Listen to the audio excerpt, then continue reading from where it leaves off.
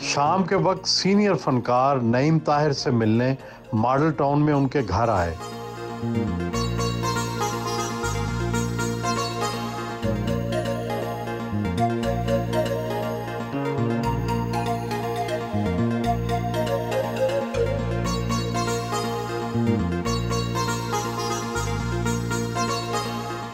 کشمیری چائے، بسکٹ اور fruit cake پیش کیا گیا۔ آج میں اسے معاف نہیں کروں گا کیونکہ اسے شارٹ نوٹس دیا تھا۔ شارٹ نوٹس دیا تھا۔ میں تو اس عمر میں سچی بات یہ میں تراسی سال کا ہوں اور یہ بات غور کرنے کی کہ نیشنل اسٹیٹسٹکس کے مطابق اس وقت پاکستان میں صرف چالیس ہزار آدمی ہیں جو اس عمر کے ہیں۔ سہیل صاحب عرفان کے ساتھ ایک بہت ہی بڑا نام جڑا ہوا ہے۔ عرفان کھوسٹ۔ میں ان خوش قسمتوں سے میں سے ہوں جس نے ان کے والد کے ساتھ ریڈیو پہ کام کیا۔ تو عرفان ایک بہت بڑے خاندان کا، بہت بڑے گھرانے کا سپوت ہے۔ اور مجھے مجھے بڑی خوشی ہے کہ میں نے اس کی زندگی میں کچھ نہ کچھ کوشش کی کہ کنٹریبیوٹ کروں۔ وہ کہتے ہیں نا ہونوار بروا کے چکنے چکنے پات، اس کے پات بہت چکنے تھے۔ میں سمجھتا ہوں کہ سلطان خوسر صاحب کا خاندان، عرفان کا خاندان، اس کا بیٹا، اس کی بیٹی ایک جزیرہ ہیں۔ اور خدا کرے کہ یہ جزیرہ جو ہے، وہ آباد رہے اور قائم رہے اور یہ اس کو کرتے رہے آگے۔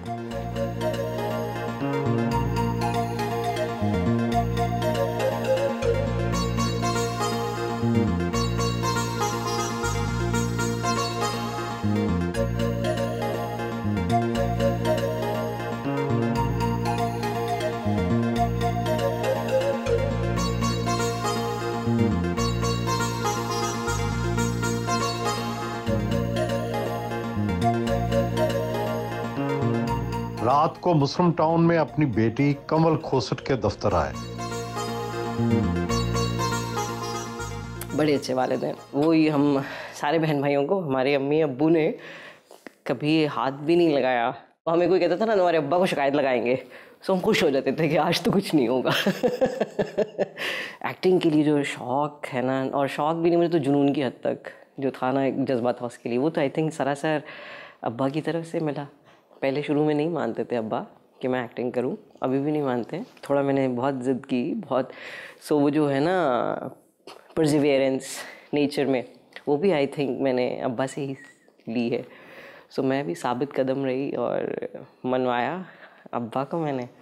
سو انہوں نے کہا کہ اچھا ایکٹنگ نہیں کرو، کچھ اور کرو، جو بھی کرو کیمرے کے پیچھے۔ تو ڈائریکٹنگ کرنی اسٹارٹ کی تھی۔ پھر میں نے اور میری امی بہت اچھی ایکٹنگ کرتی تھی، میری امی ریڈیو پریزنٹر بھی تھیں، خبریں بھی پڑھتی تھیں، تو ایم شیور دونوں کا ملا جلا ہے بٹ ایکٹیولی ہم نے ہمیشہ ابا کو کرتے ہوئے دیکھا، تو I would give most credit to him but then امی از آف کورس انوالوڈ اپنے کریئر کے شروع میں خاص طور پہ میں نے ابا کے ساتھ کافی ایکٹنگ کی، بہت آکورڈ ہوتا تھا۔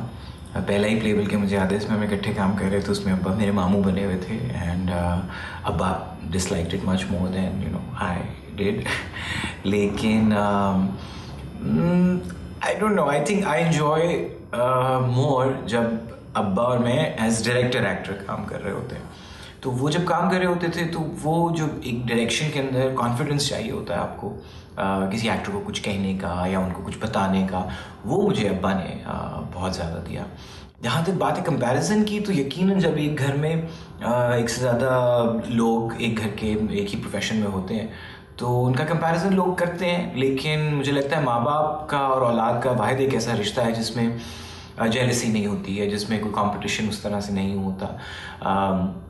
لوگ مجھے شروع میں تو بہت زیادہ کرٹیسائز کرتے تھے۔ می کہ میری آواز ایسی ہے اور میرا ایکٹنگ کے اوپر مطلب بہت بری کرتا ہوں میں اور ابا بہت اچھے ایکٹر ہیں آئی ایم شیور وہ ابھی بھی ایسا سمجھتے ہوں گے اور ایسا حقیقت بھی ہے کیونکہ باپ تو باپ ہوتا ہے۔ اور میں ان جتنا بڑا انسان اور بڑا ایکٹر بھی نہیں بن سکتا اور اس بات پہ میں بہت زیادہ خوش بھی ہوتا ہوں اور فخر بھی کرتا ہوں that he is a legend and I will always be the smaller one and he will always be the bigger one